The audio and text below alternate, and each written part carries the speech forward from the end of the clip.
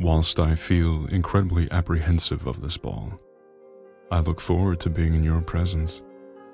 Your charming nature will be my reprieve between insipid guests.